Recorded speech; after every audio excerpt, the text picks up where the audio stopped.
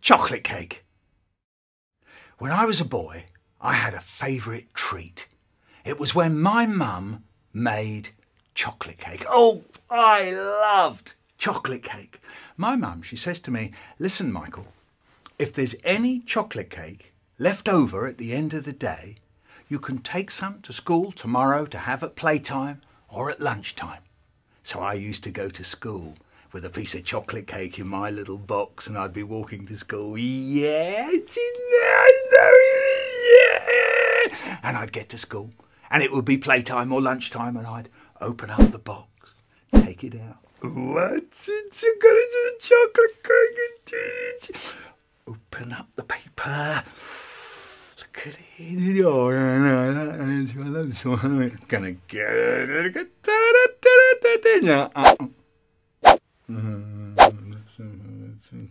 Yeah, I love it. Uh, well, look at it. Yeah. Um,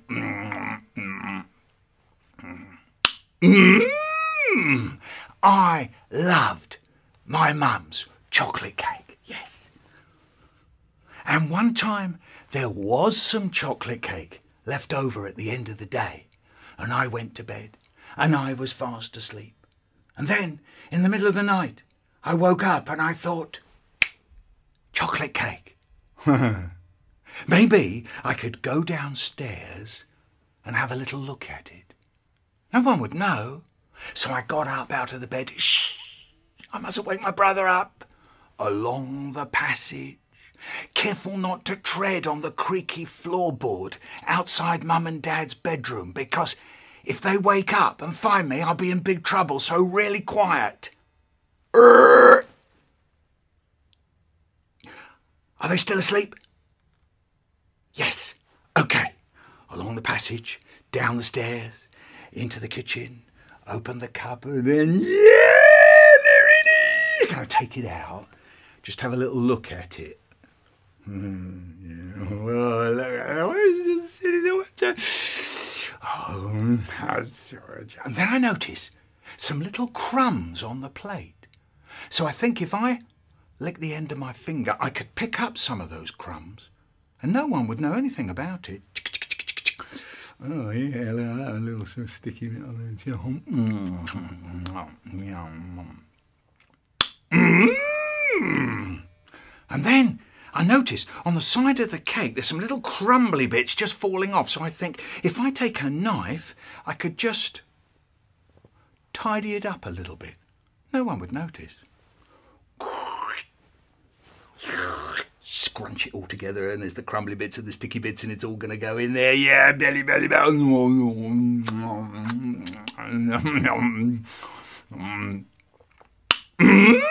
Mm. And then I notice that as I've tidied it up a little bit over here, then maybe I could just even it up a bit over here. So I take the knife again, and this time through the crispy icing on the top, through the squashy icing in the middle, and I've got a whole slice this time. Yeah, and it's all going to go in there. It's a belly, belly, belly.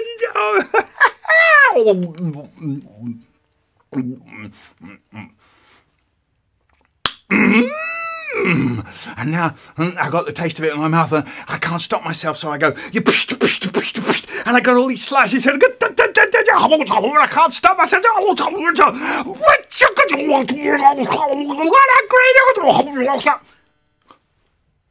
Oh no! It's all gone. Oh no! They're bound to notice now. A whole chocolate cake doesn't just disappear. What am I going to do? I know. I'll wash up the plate and the knife and they won't know anything about it. Good thinking.